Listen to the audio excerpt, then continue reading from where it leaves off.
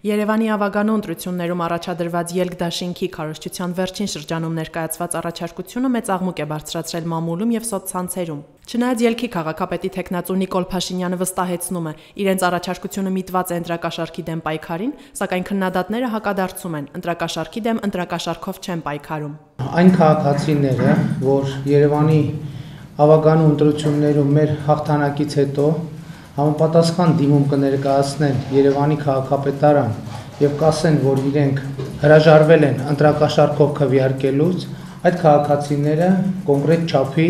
սոցիալական աջակցություն կստանան Ելք դաշինքի նախընտրական շտաբի ղեկավար Էդմոն Մարուկյանի համար զարմանալի է թվում հարցը, թե արդյոք աղմկահարույց առաջարկության հարցում Նիկոլ Փաշինյանի հետ համակարծիք է։ Դուք ինչ եք կարծում մենք առաջարկ ենք անում, որից ես լինելով շտաբի ղեկավարը համակարծիք չեմ կամ չգիտեմ կամ չենք քննարկել։ Այո, մանրամասն քննարկել ենք եւ որոշում ենք կայացրել այդ առաջարկով հանդես գալ։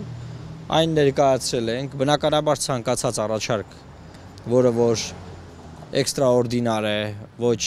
դասական է եւ ստանդարտ առաջարկ չէ, հա, այն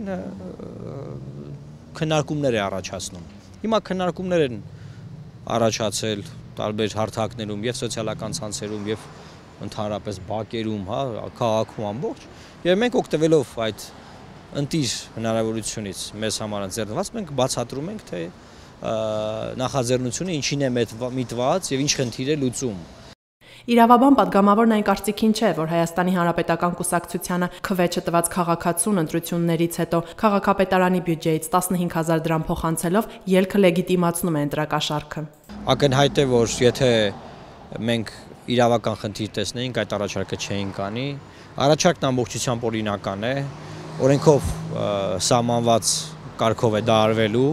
եւ որևէ խնդիր այստեղ մենք չենք տեսնում։ Դա սովորական նախընտրական ծրագիր է։ Transparency International հակակոռուպցիոն կենտրոնի ընտրական ծրագրերի համակարգող Արմեն Գրիգորյանի համար համոզիչ չէ ելքի այն փաստարկը, որ 15000-ական դրամները սոցիալական ծրագիր է, քանի որ այն իրագործվելու է միայն Նիկոլ Փաշինյանի ընտրվելու դեպքում։ Իր բնույթով սա կարելի է համարել, որ ընտրակաշարք է,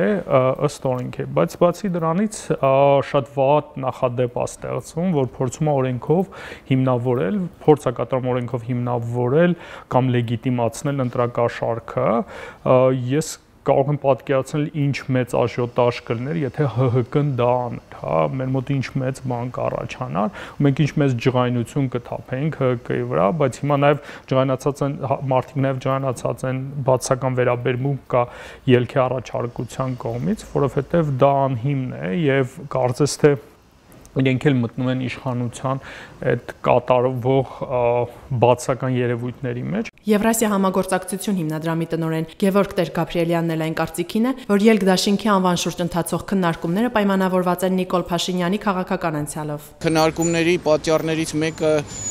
երևի այն է, որ ժամանակին, երբ Նիկոլ Փաշինյանը դուրս եկավ շարժումից, հա, կոնգրեսի կոնգրեսի շարժումից այնտեղ առաջացավ այդ վիճակը, որ մի շարք մարդիկ, որոնք կոնգրեսին էին համակրում, նրան չեն համակրում։ Մենք ոչ մի փաստ չունենք, որ դա ինչ որ հիմք ունի կասկածելը, ասում են դրածո են եւ այլն եւ այլն։ Ես ոչ մի փաստ չունեմ որպես քաղաքացի։ Ես կարող եմ ասել, որ նա խոստանում էր ավելի մասնակցային process քան արեց։ Նրանք էլ ինչպես բոլորը ուշացան նախապատրաստելու իրենց ծրագիրը այս ընտրություններից առաջ, ազգային ժողովի ընտրություններից առաջ, այսինքն թերություններ կան, բայց իրենց անկեղծությանը ես չունեմ հիմք չհավատալու։ Տեր Գաբրիելյանի կարծիքով, եթե քաղաքացին ընտրակաշարքից հրաժարվի այդ հայտարարության շնորհիվ, դա արդեն իսկ ելքի առաջարկության արդյունավետության մասին կփաստի տակտիկական առումով ես խնդրեմ չեմ տեսնում նրանց հայտարարության մեջ, առանձնապես մեծ ուշադրություն չի ել դարձնի։ Եթե որոշ մարդիկ այդ պատճառով ընտրակաշարք չվերցնեն եւ հետո դիմեն սոցիալական նպաստ ստանալու համար օգտագործելով իրենց իրավունքը, ինձ չի թվում, որ այդտեղ որևէ խնդրեմ տեղի կլինի։ Էդմոն Մարուկյանը հավելում է, իրենց խնդիրը ոչ թե այն է, որ քաղաքացին Հայաստանի Հանրապետական կուսակցությանը չընտրի, այլ այն, որ քվեարկի խղճի մտոք։ Ինչ վերաբերում է ընտրություններից հետո հաղթանակի դեպքում ստացած դիմումներին, ապա հավաստիացնում է, որքան դիմում ստանան, այնքանն էլ կբավարարեն։ Դա նախընտրական առաջարկություն է, ճիշտ է։ Հիմա Երևանի բնակիչները եթե համաձայն չեն, իրեն մեզ ձայն չեն տա, ինչի՞ ինչ տան հանգստությունը։ Ինչ է կան հանգստանում։ Համաձայն չեն կընտրեն Տարոն Մարգարյանին, ի՞նչ խնդիր կա։ Թողելի միլիոնավոր դրամների կոնյակներ առեն խմեն։ Ինչ խնդիր կա։ Արմեն Գրիգորյանն էլ ուշագրավ համեմատություն է կատարում խորհրդարանական ընտրությունների քարոշչության շրջանում հնչած խոստումների հետ։ Նման դեպքեր ունեցել ենք ազգային ժողովի ընտրության, թարմ դեպքը նաև Գագիկ Ծառուկյանը, երբ որ քարոզարշավի ընթացքում խոստումներ է տալիս, հա, գյուղացիներին կամ